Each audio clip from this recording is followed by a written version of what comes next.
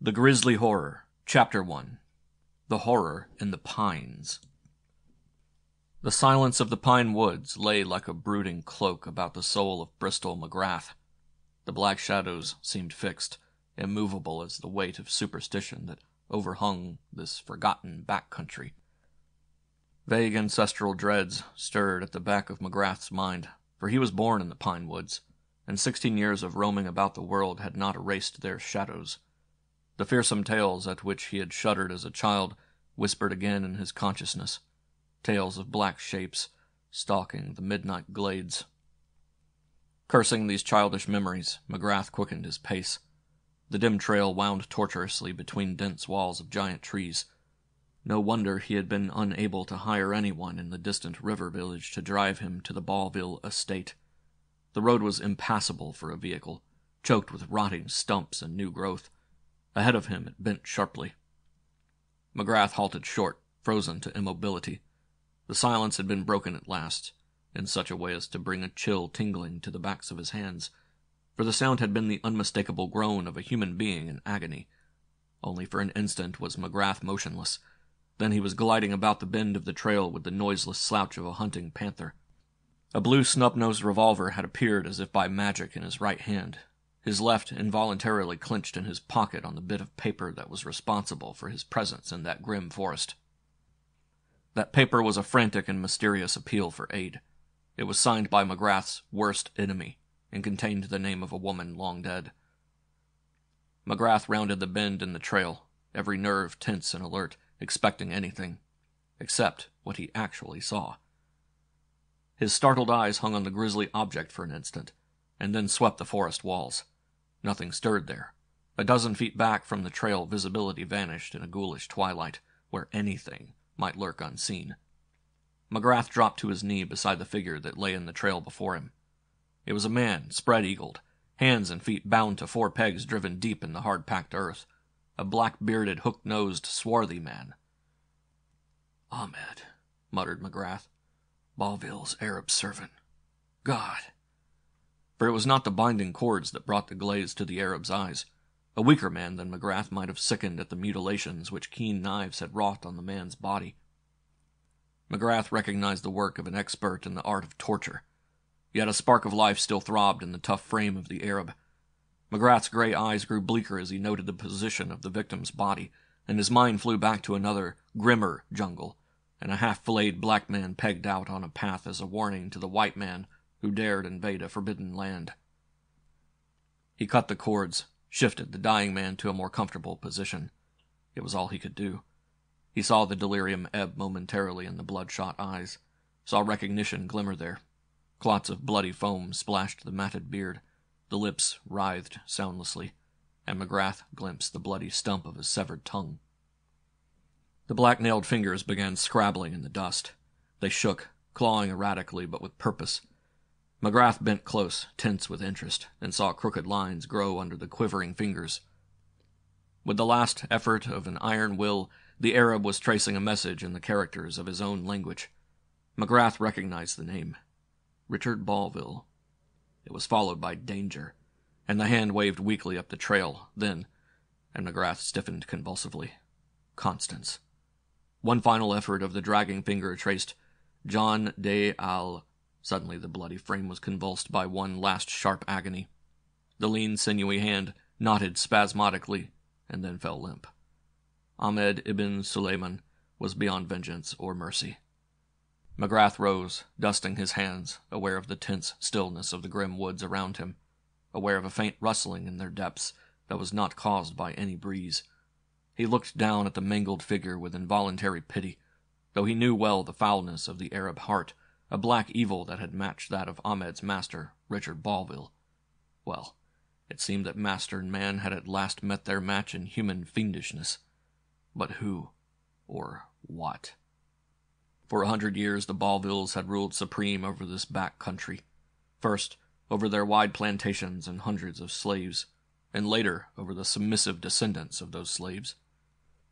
Richard, the last of the Ballvilles, had exercised as much authority over the Pine Lands as any of his autocratic ancestors. Yet, from this country where men had bowed to the Ballvilles for a century, had come that frenzied cry of fear, a telegram that McGrath clenched in his coat pocket. Stillness succeeded the rustling, more sinister than any sound. McGrath knew he was watched, knew that the spot where Ahmed's body lay was the invisible deadline that had been drawn for him. He believed that he would be allowed to turn and retrace his steps unmolested to the distant village. He knew that if he continued on his way, death would strike him suddenly and unseen. Turning, he strode back the way he had come. He made the turn and kept straight on until he had passed another crook in the trail. Then he halted, listened. All was silent. Quickly he drew the paper from his pocket, smoothed out the wrinkles, and read again in the cramped scrawl of the man he hated most on earth. Bristol, if you still love Constance Brand, for God's sake forget your hate and come to Ballville Manor as quick as the devil can drive you. Richard Ballville. That was all. It reached him by telegraph in that far western city where McGrath had resided since his return from Africa. He would have ignored it but for the mention of Constance Brand. That name had sent a choking, agonizing pulse of amazement through his soul. Had sent him racing toward the land of his birth by train and plane, as if indeed the devil were on his heels. It was the name of one he thought dead for three years. The name of the only woman Bristol McGrath had ever loved. Replacing the telegram, he left the trail and headed westward, pushing his powerful frame between the thick-set trees. His feet made little sound on the matted pine needles.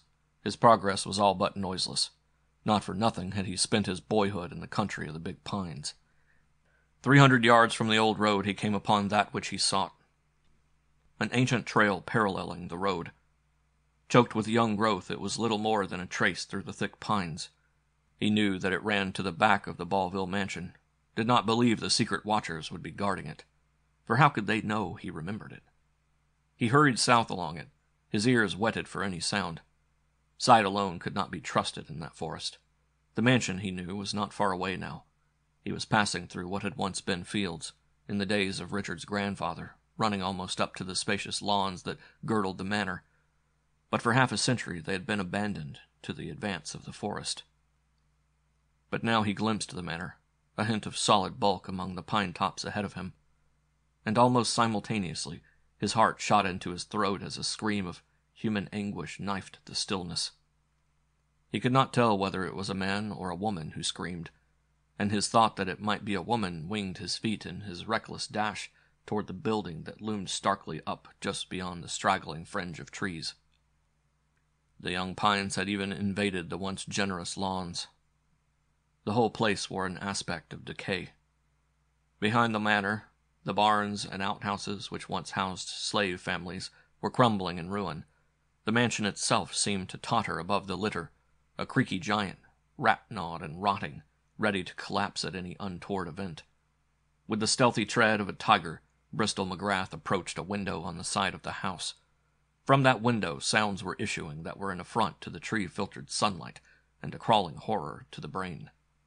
Nerving himself for what he might see, he peered within. Chapter 2 Black Torture he was looking into a great dusty chamber which might have served as a ballroom in antebellum days. Its lofty ceiling was hung with cobwebs. Its rich oak panels showed dark and stained. But there was a fire in the great fireplace. A small fire just large enough to heat to a white glow the slender steel rods thrust into it. But it was only later that Bristol McGrath saw the fire and the things that glowed on the hearth. His eyes were gripped like a spell on the master of the manor. And once again he looked on a dying man, a heavy beam had been nailed to the paneled wall, and from it jutted a rude crosspiece. From this crosspiece Richard Ballville hung by cords about his wrists. His toes barely touched the floor, tantalizingly, inviting him to stretch his frame continually in an effort to relieve the agonizing strain on his arms. The cords had cut deeply into his wrists. Blood trickled down his arms. His hands were black and swollen almost to bursting. He was naked except for his trousers, and McGrath saw that already the white-hot irons had been horribly employed. There was reason enough for the deathly pallor of the man, the cold beads of agony upon his skin. Only his fierce vitality had allowed him thus long to survive the ghastly burns on his limbs and body. On his breast had been burned a curious symbol. A cold hand laid itself on McGrath's spine, for he recognized that symbol. and once again his memory raced away across the world and the years to a black, grim, hideous jungle where drums bellowed in fire shot darkness and naked priests of an abhorred cult traced a frightful symbol in quivering human flesh. Between the fireplace and the dying man squatted a thick set black man, clad only in ragged, muddy trousers. His back was toward the window, presenting an impressive pair of shoulders. His bullet head was set squarely between those gigantic shoulders, like that of a frog, and he appeared to be avidly watching the face of the man on the crosspiece. Richard Ballville's bloodshot eyes were like those of a tortured animal, but they were fully sane and conscious. They blazed with desperate vitality. He lifted his head painfully, and his gaze swept the room. Outside the window, McGrath instinctively shrank back. He did not know whether Ballville saw him or not. The man showed no sign to betray the presence of the watcher to the bestial black who scrutinized him. Then the brute turned his head toward the fire, reaching a long ape like arm toward a glowing iron, and Ballville's eyes blazed with a fierce and urgent meaning the watcher could not mistake. McGrath did not need the agonized motion of the tortured head that accompanied the look. With a tigerish bound, he was over the window sill and in the room, even as the startled black shot erect, whirling with apish agility. McGrath had not drawn his gun. He dared not risk a shot that might bring other foes upon him. There was a butcher knife in the belt that held up the ragged, muddy trousers. It seemed to leap like a living thing into the hand of the black as he turned, but in McGrath's hand gleamed a curved Afghan dagger that had served him well in many a bygone battle. Knowing the advantage of instant and relentless attack, he did not pause. His feet scarcely touched the floor inside before they were hurling him at the astounded black man. An inarticulate cry burst from the thick red lips. The eyes rolled wildly. The butcher knife went back and hissed forward with the swiftness of a striking cobra that would have disemboweled a man whose thews were less steely than those of Bristol McGrath. But the black was involuntarily stumbling backward as he struck, and that instinctive action slowed his stroke just enough for McGrath to avoid it with a lightning like twist of his torso. The long blade hissed under his armpit, slicing cloth and skin, and simultaneously the Afghan dagger ripped through the black bull throat. There was no cry, but only a choking gurgle as the man fell, spouting blood. McGrath had sprung free as a wolf springs after delivering the death stroke. Without emotion, he surveyed his handiwork. The black man was already dead, his head half severed from his body. That slicing sidewise lunge that slew in silence, severing the throat to the spinal column, was a favored stroke of the hairy hillmen that haunt the crags overhanging the Khyber Pass. Less than a dozen white men have ever mastered it. Bristol McGrath was one. McGrath turned to Richard Ballville.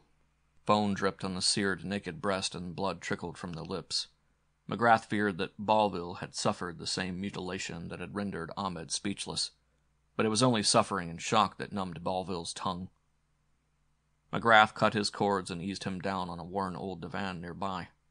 Ballville's lean muscle corded body quivered like taut steel strings under McGrath's hands. He gagged, finding his voice. Ah, Ah, knew you'd come, he gasped, writhing at the contact of the divan against his seared flesh. I've hated you for years, but I knew. McGrath's voice was harsh as the rasp of steel. What did you mean by your mention of Constance Brand? She is dead.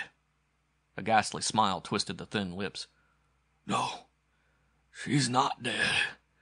But she soon will be, if you don't hurry. Quick, brandy. There on the table. That beast didn't drink it all. McGrath held the bottle to his lips. Ballville drank avidly. McGrath wondered at the man's iron nerve. That he was in ghastly agony was obvious. He should be screaming in a delirium of pain. Yet he held to sanity and spoke lucidly, though his voice was a laboring croak.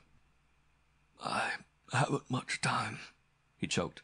Don't interrupt. Save your curses till later. We both loved Constance Brand. She loved you. Three years ago, she disappeared. Her garments were found on the bank of a river. Her body was never recovered. You went to Africa to drown your sorrow. I retired to the estate of my ancestors and became a recluse.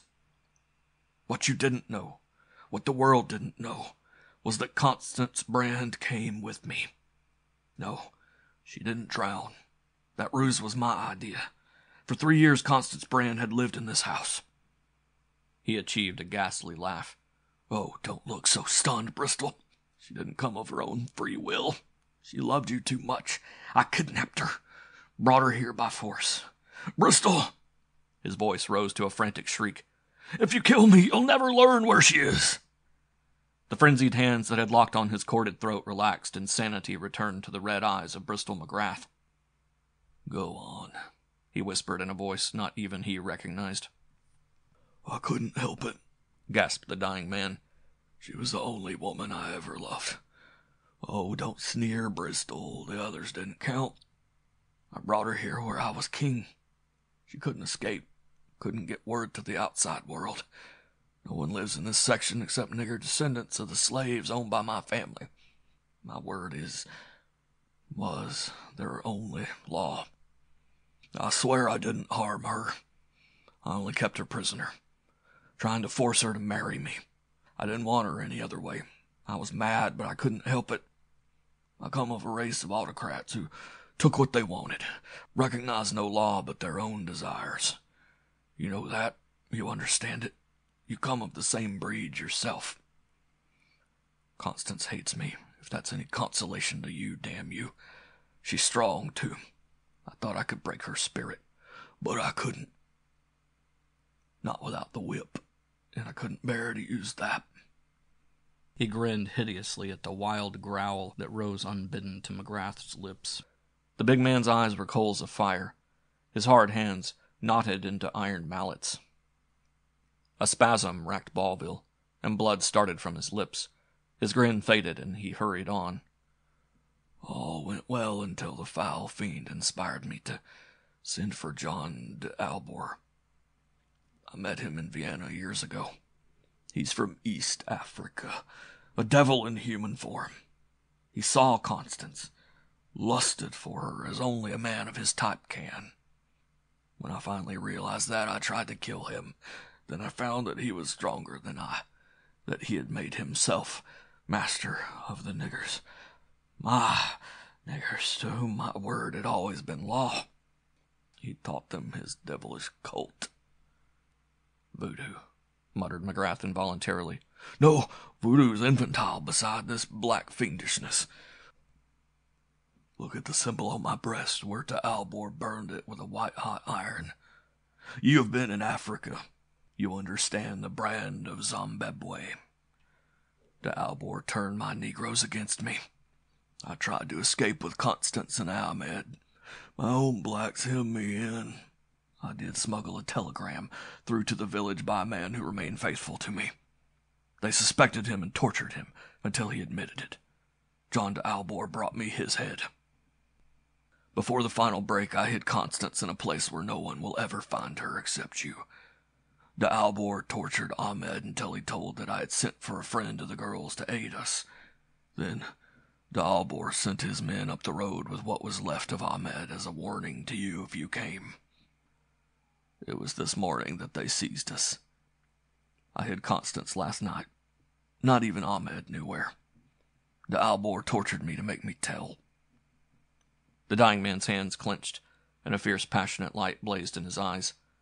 McGrath knew that not all the torments of all the hells could ever have wrung that secret from Ballville's iron lips. It was the least you could do, he said, his voice harsh with conflicting emotions. I've lived in hell for three years because of you. And Constance has. You deserve to die. If you weren't dying already, I'd kill you myself. Damn you. You think I want your forgiveness? gasped the dying man. I'm glad you suffered. If Constance didn't need your help, I'd like to see you dying as I'm dying. And I'll be waiting for you in hell. But enough of this. Albor left me a while to go up the road and assure himself that Ahmed was dead. This beast got to swilling my brandy and decided to torture me some himself. Now, listen, Constance is hidden in Lost Cave. No man on earth knows of its existence except you and me. Not even the Negroes. Long ago, I put an iron door in the entrance and I killed the man who did the work. So the secret is safe. There's no key. You gotta open it by working certain knobs. It was more and more difficult for the man to enunciate intelligibly. Sweat dripped from his face and the cords of his arms quivered.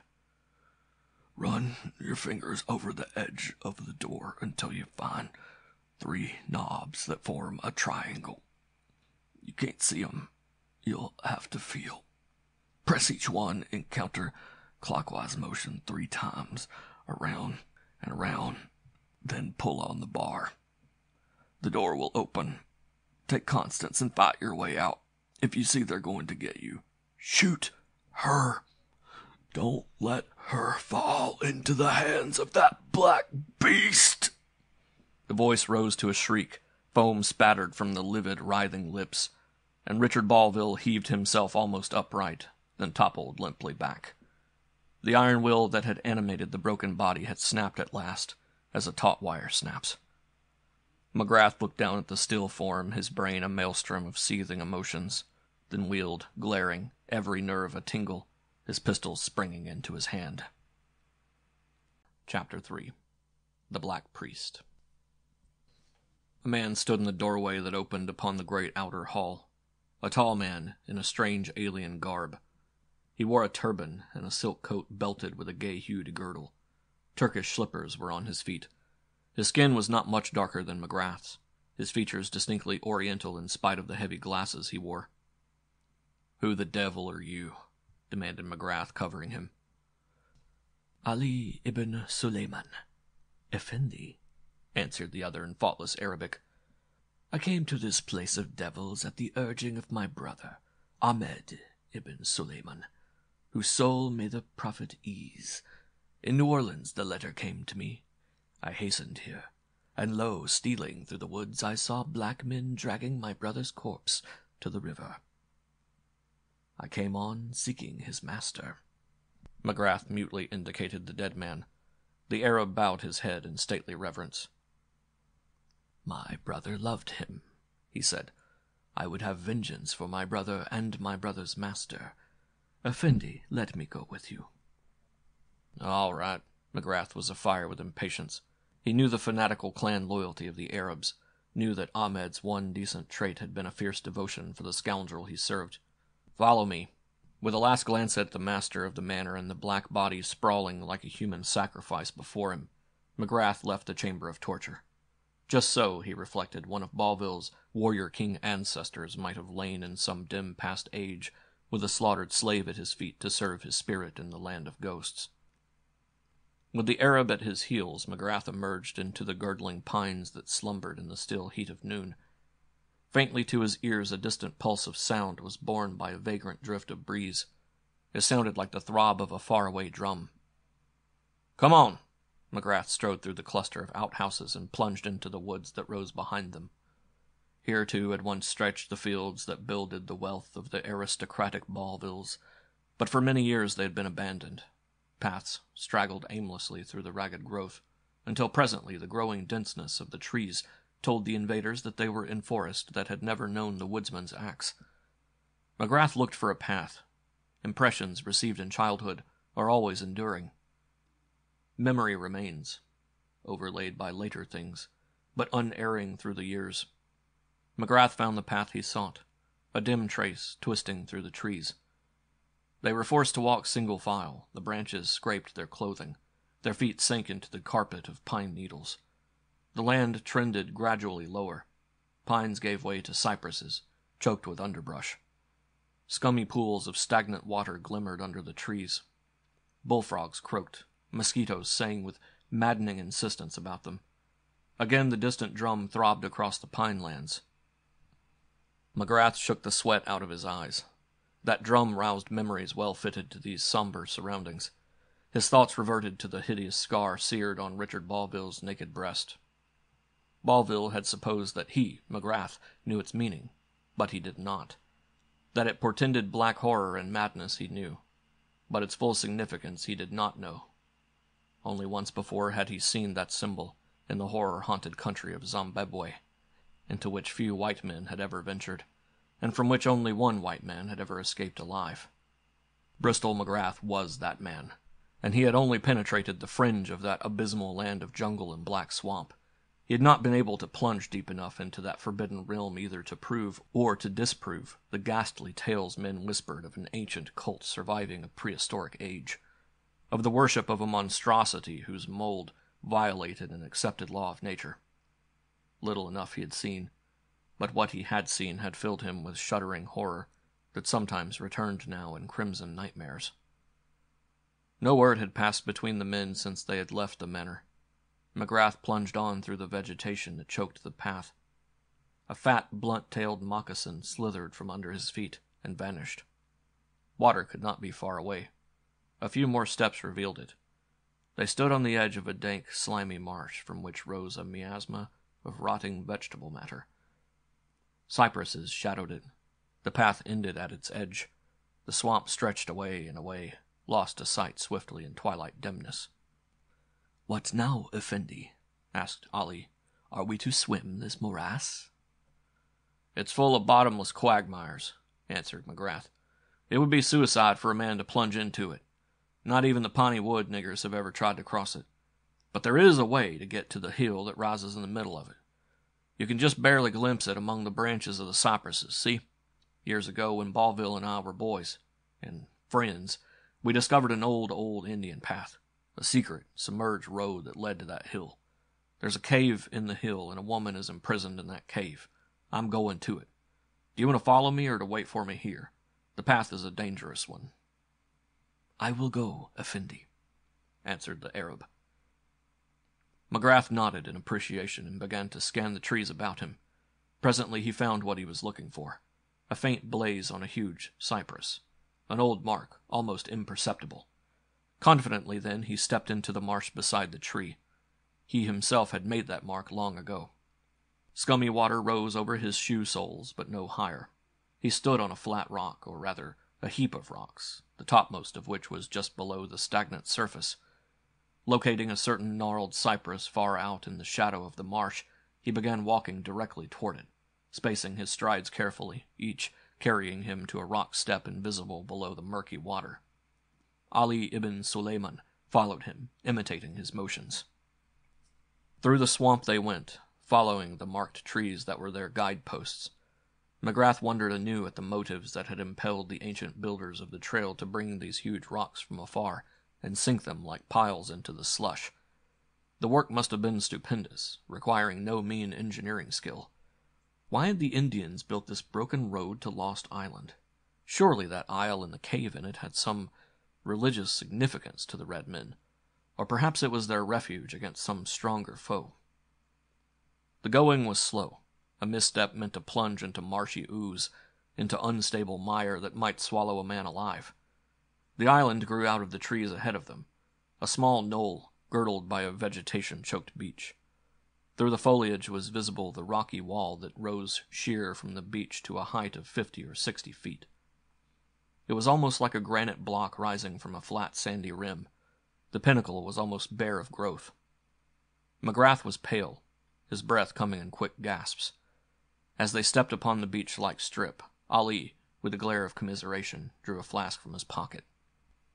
Drink a little brandy, Effendi, he urged, touching the mouth to his own lips, Oriental fashion.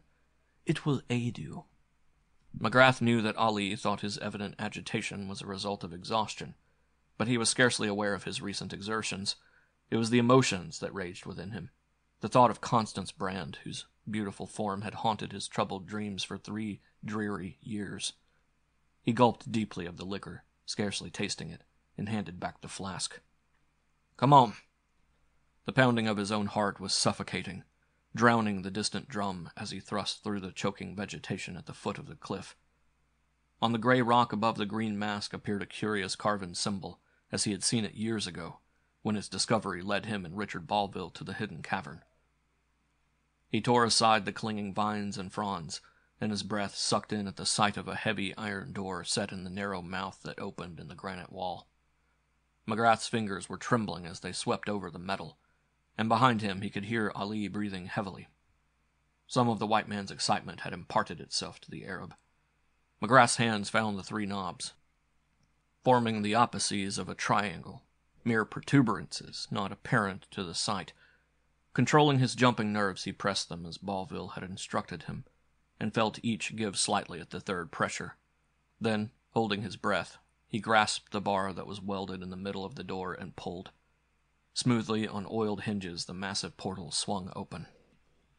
They looked into a wide tunnel that ended in another door, this a grill of steel bars. The tunnel was not dark. It was clean and roomy, and the ceiling had been pierced to allow light to enter. The holes covered with screens to keep out insects and reptiles. But through the grill he glimpsed something that sent him racing along the tunnel, his heart almost bursting through his ribs. Ali was close at his heels. The grill door was not locked. It swung outward under his fingers. He stood motionless, almost stunned with the impact of his emotions. His eyes were dazzled by a gleam of gold. A sunbeam slanted down through the pierced rock roof and struck mellow fire from the glorious profusion of golden hair that flowed over the white arm that pillowed the beautiful head on the carved oak table. Constance! It was a cry of hunger and yearning that burst from his livid lips. Echoing the cry, the girl started up, staring wildly, her hands at her temples, her lambent hair rippling over her shoulders. To his dizzy gaze, she seemed to float in an aureole of golden light. Bristol! Bristol McGrath! She echoed his call with a haunting, incredulous cry. Then she was in his arms, her white arms clutching him in a frantic embrace, as if she feared he were but a phantom that might vanish from her. For the moment the world ceased to exist for Bristol McGrath. He might have been blind, deaf, and dumb to the universe at large. His dazed brain was cognizant only of the woman in his arms, his senses drunken with the softness and fragrance of her, his soul stunned with the overwhelming realization of a dream he had thought dead and vanished forever. When he could think consecutively again, he shook himself like a man coming out of a trance and stared stupidly around him. He was in a wide chamber cut in the solid rock. Like the tunnel, it was illumined from above, and the air was fresh and clean. There were chairs, tables, and a hammock, carpets on the rocky floor, cans of food, and a water cooler.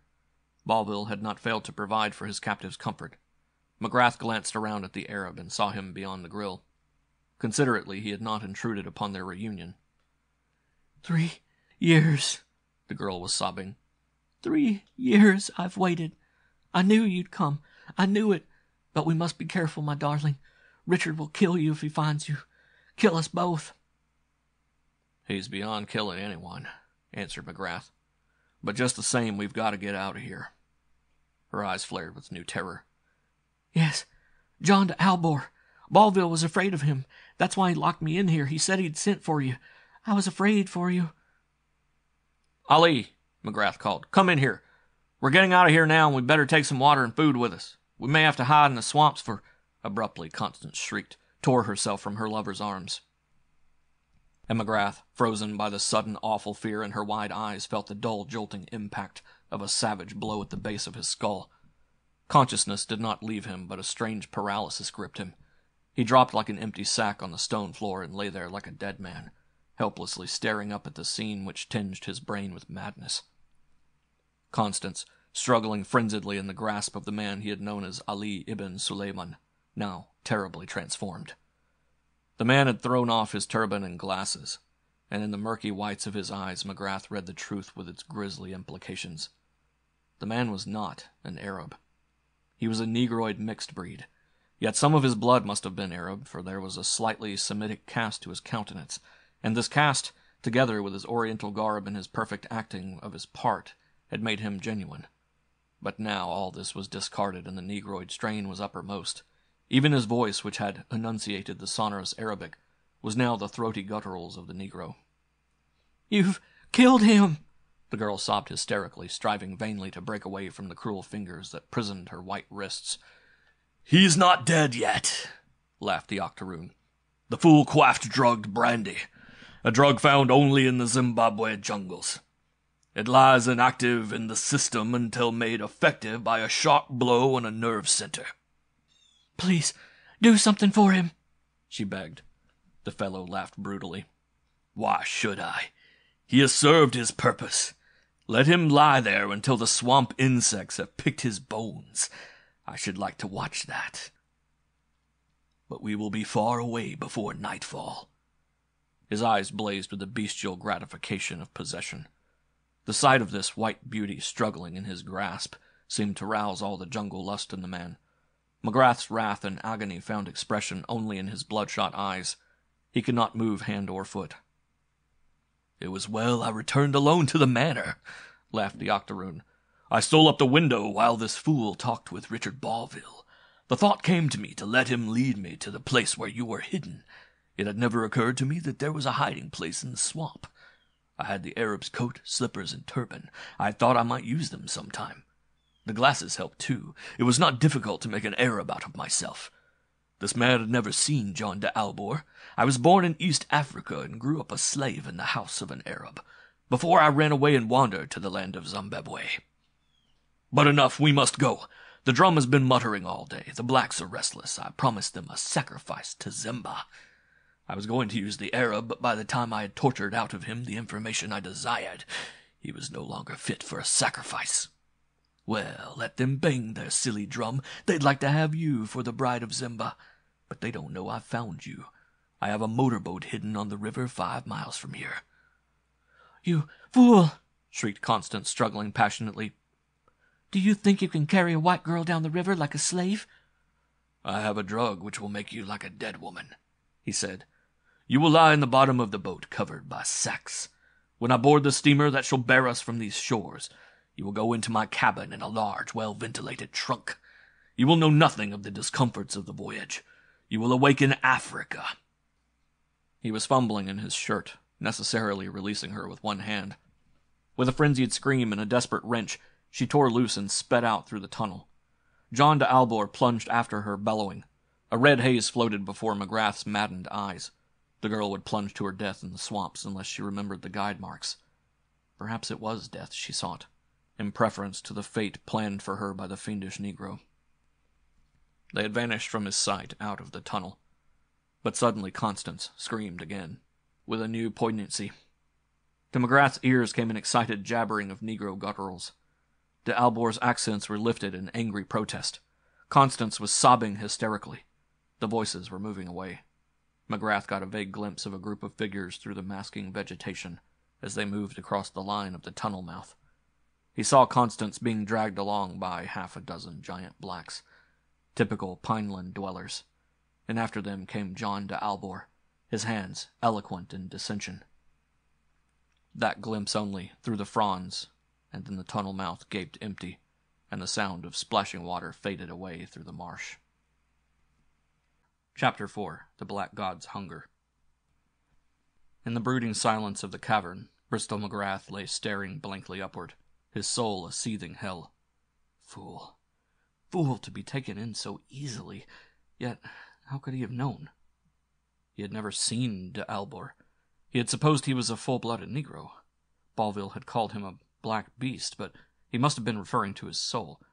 De Albor, for the betraying murk of his eyes, might pass anywhere for a white man. The presence of those black men meant but one thing. They had followed him, and de Albor had seized Constance as she rushed from the cave. De Albor's evident fear bore a hideous implication. He had said the blacks wanted to sacrifice Constance. Now she was in their hands. God! The word burst from McGrath's lips, startling in the stillness, startling to the speaker. He was electrified. A few moments before he had been dumb, but now he discovered he could move his lips, his tongue. Life was stealing back through his dead limbs. They stung as if with returning circulation. Frantically, he encouraged that sluggish flow. Laboriously, he worked his extremities, his fingers, hands, wrists, and finally, with a surge of wild triumph, his arms and legs. Perhaps de Albor's hellish drug had lost some of its power through age. Perhaps McGrath's unusual stamina threw off the effects as another man could not have done. The tunnel door had not been closed, and McGrath knew why. They did not want to shut out the insects which would soon dispose of a helpless body. Already the pests were streaming through the door, a noisome horde. McGrath rose at last, staggering drunkenly, but with his vitality surging more strongly each second. When he tottered from the cave, no living thing met his glare. Hours had passed since the Negroes had departed with their prey. He strained his ears for the drum. It was silent. The stillness rose like an invisible black mist around him. Stumblingly, he splashed along the rock trail that led to hard ground. Had the blacks taken their captive back to the death haunted manor, or deeper into the pine lands? Their tracks were thick in the mud. Half a dozen pairs of bare splay feet, the slender prints of Constance's shoes the marks of de Albor's Turkish slippers. He followed them with increasing difficulty as the ground grew higher and harder. He would have missed the spot where they turned off the dim trail but for the fluttering of a bit of silk in the faint breeze. Constance had brushed against a tree trunk there, and the rough bark had shredded off a fragment of her dress. The band had been headed east, toward the manor. At the spot where the bit of cloth hung, they had turned sharply southward. The matted pine needles showed no tracks, but disarranged vines and branches bent aside marked their progress, until McGrath, following these signs, came out upon another trail leading southward. Here and there were marshy spots, and these showed the prints of feet, bare and shod.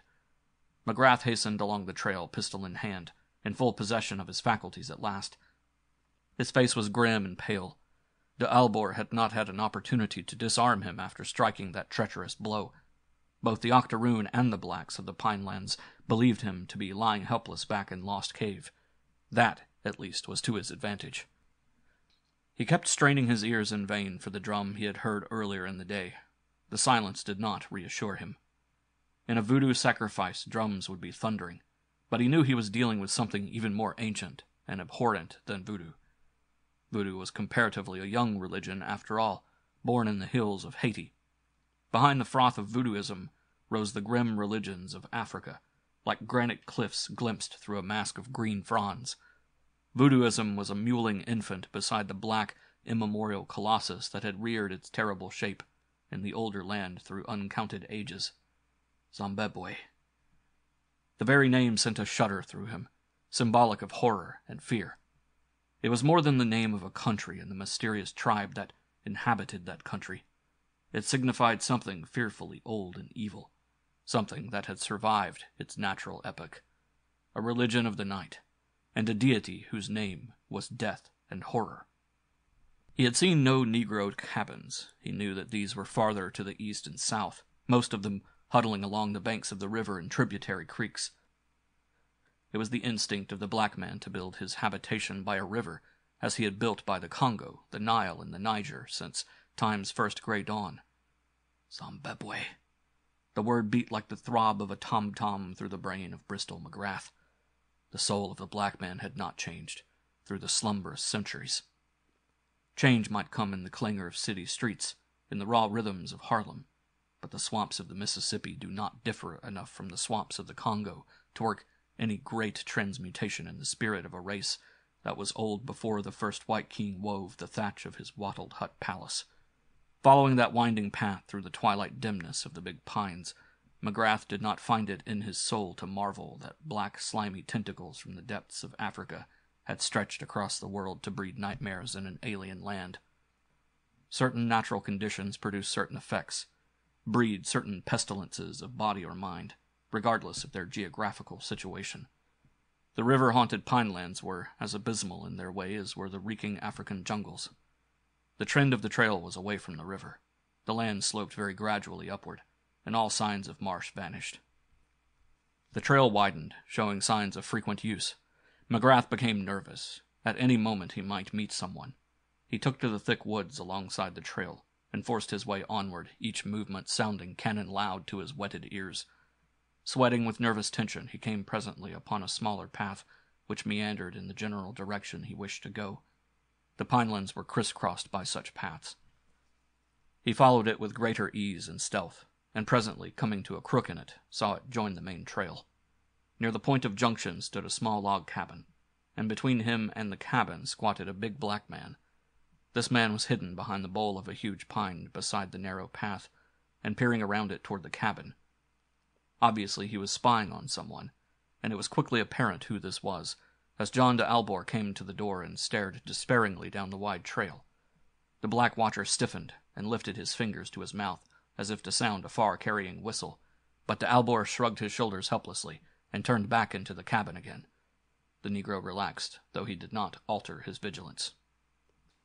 What this portended, McGrath did not know, nor did he pause to speculate. At the sight of de Albor, a red mist turned the sunlight to blood, in which the black body before him floated like an ebony goblin. A panther stealing upon its kill would have made as much noise as McGrath made in his glide down the path toward the squatting black. He was aware of no personal animosity toward the man, who was but an obstacle in his path of vengeance. Intent on the cabin, the black man did not hear that stealthy approach. Oblivious to all else, he did not move or turn until the pistol butt descended on his woolly skull with an impact that stretched him senseless among the pine needles. McGrath crouched above his motionless victim, listening. There was no sound nearby. But suddenly, far away, there rose a long drawn shriek that shuddered and died away. The blood congealed in McGrath's veins. Once before he had heard that sound, in the low forest covered hills that fringed the borders of forbidden Zambebwei. His black boys had turned the color of ashes and fallen on their faces. What it was he did not know, and the explanation offered by the shuddering natives had been too monstrous to be accepted by a rational mind. They called it the voice of the god of Zambebwei. Stung to action, McGrath rushed down the path and hurled himself against the back door of the cabin. He did not know how many blacks were inside. He did not care. He was berserk with grief and fury. The door crashed inward under the impact. He lit on his feet inside, crouching, gun level, hip high, lips a snarl. But only one man faced him John de Albor, who sprang to his feet with a startled cry. The gun dropped from McGrath's fingers. Neither lead nor steel could glut his hate now. It must be with naked hands turning back the pages of civilization to the red dawn days of the primordial. With a growl that was less like the cry of a man than the grunt of a charging lion, McGrath's fierce hands locked about the octoroon's throat. Albor was borne backward by the hurtling impact, and the men crashed together over a camp cot, smashing it to ruins and as they tumbled on the dirt floor, McGrath set himself to kill his enemy with his bare fingers. The octoroon was a tall man, rangy and strong, but against the berserk white man he had no chance. He was hurled about like a sack of straw, battered and smashed savagely against the floor, and the iron fingers that were crushing his throat sank deeper and deeper until his tongue protruded from his gaping blue lips and his eyes were starting from his head. With death no more than a hand's breadth from the octoroon, some measure of sanity returned to McGrath. He shook his head like a dazed bull, eased his terrible grip a trifle, and snarled, Where's the girl? Quick, before I kill you! De Albor retched and fought for breath, ashen faced. The blacks, he gasped. They have taken her to be the bride of Zemba. I could not prevent them. They demand a sacrifice. I offered them you, but they said you were paralyzed and would die anyway. They were cleverer than I thought. They followed me back to the manor from the spot where we left the Arab in the road, followed us from the manor to the island. They are out of hand, mad with bloodlust. But even I, who know black men as none else knows them, I had forgotten that not even a priest of Zambebwei can control them when the fire of worship runs in their veins. I am their priest and master. Yet, when I sought to save the girl, they forced me into this cabin and set a man to watch me until the sacrifice is over. You must have killed him. He would never have let you enter here. With a chill grimness, McGrath picked up his pistol. You came here as Richard Ballville's friend, he said unemotionally, to get possession of Constance Brand. You made devil worshippers out of the black people. You deserve death for that. When the European authorities that govern Africa catch a priest of Zambebwei, they hang him. You've admitted that you are a priest. Your life is forfeit on that score, too. But it is because of your hellish teachings that Constance Brand is about to die, and it's for that reason that I'm going to blow out your brains. John de Albor shriveled. She is not dead yet, he gasped, great drops of perspiration dripping from his ashy face. She will not die until the moon is high above the pines. It is full tonight. The moon of Zambebwei. Don't kill me. Only I can save her. I know I failed before, but if I go to them, appear to them suddenly and without warning, they'll think it is because of supernatural powers that I was able to escape from the hut without being seen by the watchman. That will renew my prestige. You can't save her. You might shoot a few blacks, but there would still be scores left to kill you, and her. But I have a plan, yes. I am a priest of Zambebwei, when I was a boy, I ran away from my Arab master and wandered far until I came to the land of Zambebwei. Then I grew to manhood and became a priest, dwelling there until the white blood in me drew out in the world again to learn the ways of the white man. When I came to America, I brought a Zemba with me. I cannot tell you how. Let me save Constance Brand. He was clawing at McGrath, shaking as if with an ague. I love her even as you love her.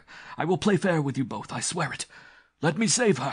We can fight for her later, and I'll kill you if I can. The frankness of that statement swayed McGrath more than anything else the Octoroon could have said. It was a desperate gamble, but after all, Constance would be no worse off with John de Albor alive than she was already. She would be dead before midnight unless something was done swiftly. Where is the place of sacrifice? Asked McGrath. Three miles away in an open glade, answered de Albor. South, on the trail that runs past my cabin. All the blacks are gathered there except my guard, and some others who are watching the trail below the cabin. They are scattered out along it, the nearest out of sight of my cabin, but within sound of the loud shrill whistle with which these people signal one another. This is my plan. You wait here in my cabin or in the woods as you choose. I'll avoid the watchers on the trail and appear suddenly before the blacks at the house of Zimba. A sudden appearance will impress them deeply, as I said. I know I cannot persuade them to abandon their plan, but I will make them postpone the sacrifice until just before dawn. And before that time I will manage to steal the girl and flee with her.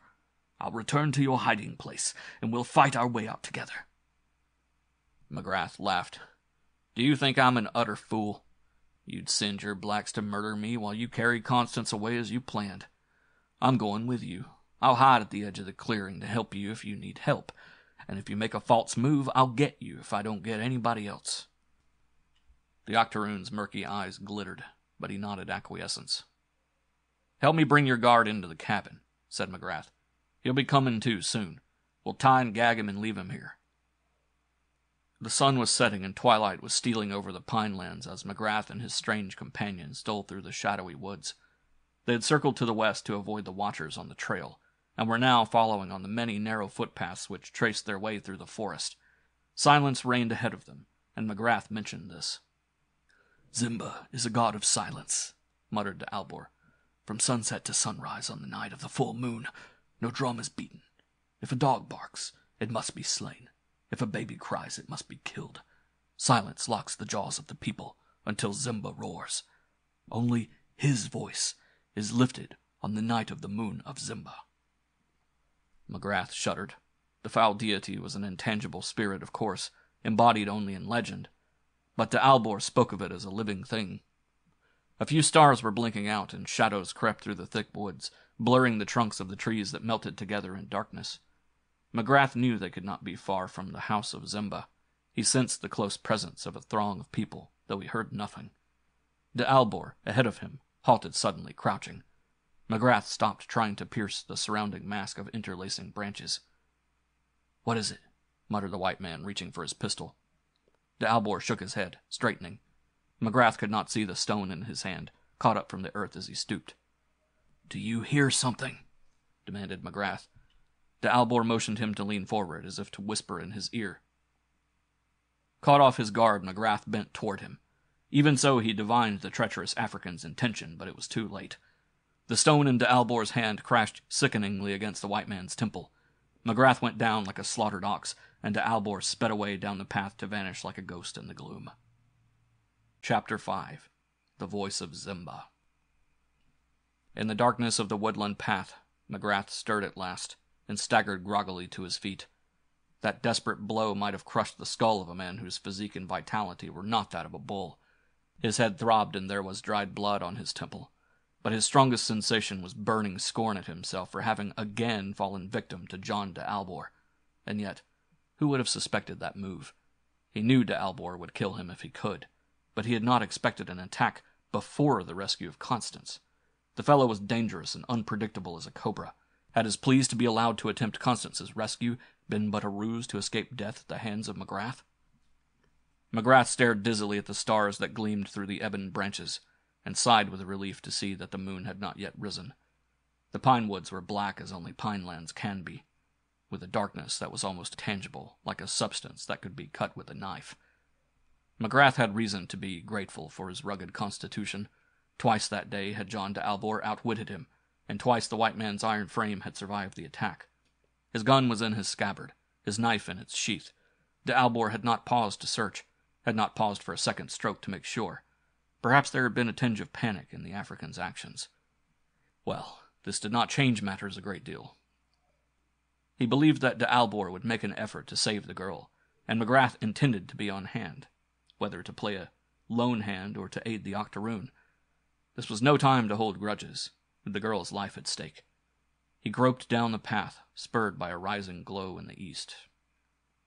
He came upon the glade almost before he knew it. The moon hung in the low branches, blood red, high enough to illumine it, and the throng of black people who squatted in a vast semicircle about it, facing the moon. Their rolling eyes gleamed milkily in the shadows, their features were grotesque masks. None spoke. No head turned toward the bushes behind which he crouched. He had vaguely expected blazing fires, a blood-stained altar, drums and the chant of maddened worshippers. That would be voodoo. But this was not voodoo, and there was a vast gulf between the two cults. There were no fires, no altars, but the breath hissed through his locked teeth. In a far land he had sought in vain for the rituals of Zambebwei. Now he looked upon them within forty miles of the spot where he was born. In the center of the glade, the ground rose slightly to a flat level. On this stood a heavy iron bound stake that was indeed but the sharpened trunk of a good sized pine driven deep into the ground, and there was something living chained to that stake, something which caused McGrath to catch his breath in horrified unbelief. He was looking upon a god of Zambebwei. Stories had told of such creatures, wild tales drifting down from the borders of the forbidden country, repeated by shivering natives about jungle fires passed along until they reached the ears of skeptical white traders. McGrath had never really believed the stories, though he had gone searching for the being they described, for they spoke of a beast that was a blasphemy against nature. A beast that sought food strange to its natural species. The thing chained to the stake was an ape. But such an ape as the world at large never dreamed of, even in nightmares. Its shaggy gray hair was shot with silver that shone in the rising moon. It looked gigantic as it squatted ghoulishly on its haunches. Upright on its bent, gnarled legs, it would be as tall as a man and much broader and thicker. But its prehensile fingers were armed with talons like those of a tiger, not the heavy blunt nails of the natural anthropoid, but the cruel scimitar curved claws of the great carnivora. Its face was like that of a gorilla, low browed, flaring nostriled, chinless. But when it snarled, its wide flat nose wrinkled like that of a great cat, and the cavernous mouth disclosed saber like fangs, the fangs of a beast of prey. This was Zimba, the creature sacred to the people of the land of Zambebwei, a monstrosity, a violation of an accepted law of nature, a carnivorous ape. Men had laughed at the story, hunters and zoologists and traders. But now McGrath knew that such creatures dwelt in black Zambebwei and were worshipped, as primitive man is prone to worship an obscenity or perversion of nature. Or a survival of past eons, that was what the flesh eating apes of Zambebwei were. Survivors of a forgotten epoch, remnants of a vanished prehistoric age when nature was experimenting with matter, and life took many monstrous forms. The sight of the monstrosity filled McGrath with revulsion. It was abysmal, a reminder of that brutish and horror shadowed past out of which mankind crawled so painfully eons ago. This thing was an affront to sanity. It belonged in the dust of oblivion with the dinosaur, the mastodon, and the saber toothed tiger. It looked massive beyond the stature of modern beasts, shaped on the plan of another age, when all things were cast in a mightier mold. He wondered if the revolver at his hip would have any effect on it wondered by what dark and subtle means John de Albor had brought the monster from Zambebwei to the Pinelands. But something was happening in the glade, heralded by the shaking of the brute's chain as it thrust forward its nightmare head. From the shadows of the trees came a file of black men and women, young, naked except for the mantle of monkey skins and parrot feathers thrown over the shoulders of each. More regalia brought by John de Albor, undoubtedly. They formed a semicircle at a safe distance from the chained brute, and sank to their knees, bending their heads to the ground before him. Thrice this motion was repeated. Then rising, they formed two lines, men and women facing one another, and began to dance. At least it might by courtesy be called a dance. They hardly moved their feet at all, but all other parts of their bodies were in constant motion, twisting, rotating, writhing. The measured rhythmical movements had no connection at all with the voodoo dances McGrath had witnessed. This dance was disquietingly archaic in its suggestion, though even more depraved and bestial. naked, primitive passions framed in a cynical debauchery of motion. No sound came from the dancers, or from the votaries squatting about the ring of trees, but the ape, apparently infuriated by the continued movements, lifted his head and sent into the night the frightful shriek McGrath had heard once before that day. He had heard it in the hills that border Black Zambebwei. The brute plunged to the end of his heavy chain, foaming and gnashing his fangs, and the dancers fled like spume blown from a gust of wind. They scattered in all directions, and then McGrath started up in his covert, barely stifling a cry. From the deep shadows had come a figure, gleaming taunily in contrast to the black forms about it. It was John de Albor, naked except for a mantle of bright feathers, and on his head a circlet of gold that might have been forged in Atlantis. In his hand he bore a gold wand that was the scepter of the high priests of Zambebwei. Behind him came a pitiful figure, at the sight of which the moonlit forest reeled to McGrath's sight. Constance had been drugged. Her face was that of a sleepwalker, she seemed not aware of her peril or the fact that she was naked. She walked like a robot, mechanically responding to the urge of the cord tied about her white neck. The other end of that cord was in John de Albor's hand, and he half led, half dragged her toward the horror that squatted in the center of the glade. De Albor's face was ashy in the moonlight that now flooded the glade with molten silver.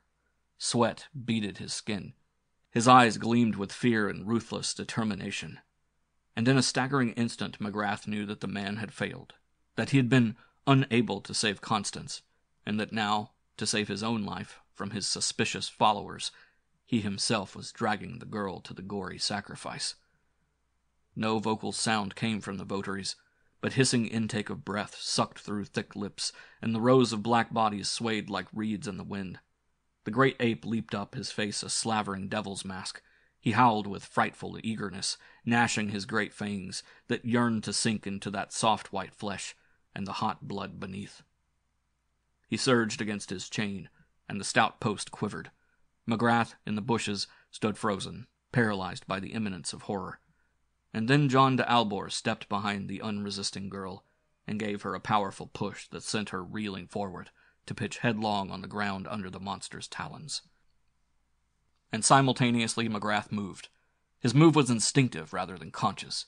His 44 jumped into his hand and spoke, and the great ape screamed like a man death stricken and reeled, clapping misshapen hands to its head.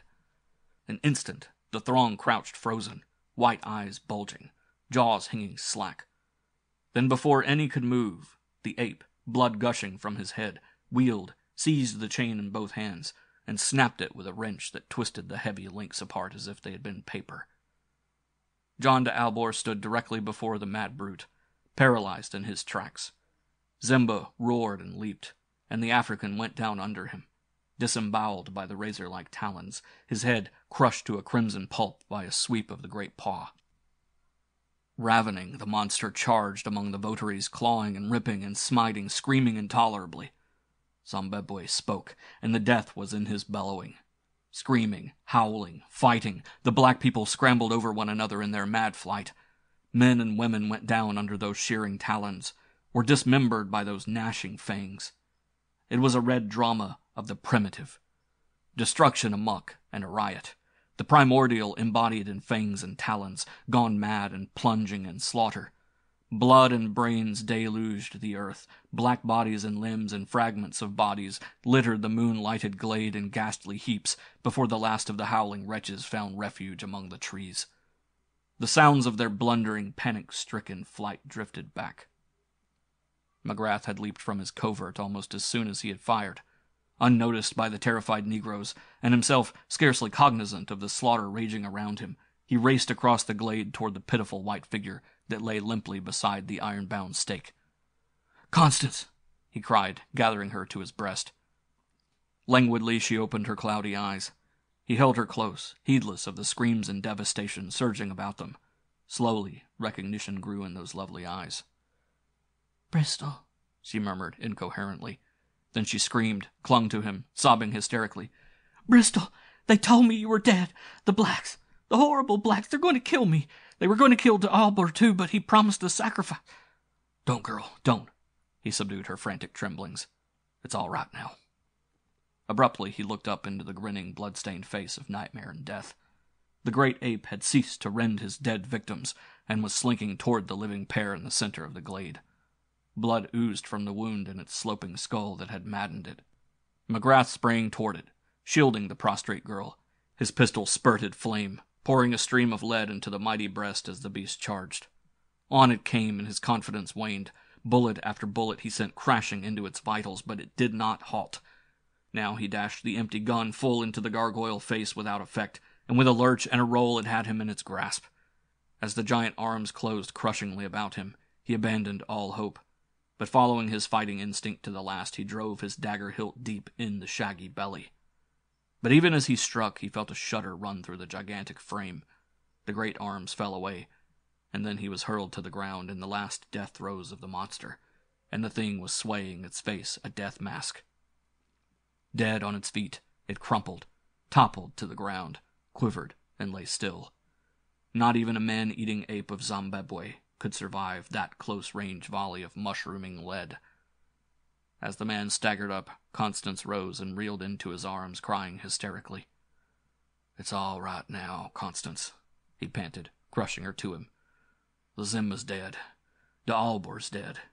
Ballville's dead. The Negroes have run away. There's nothing to prevent us leaving now. The moon of Zambebwei was the end for them. But it's the beginning of life for us.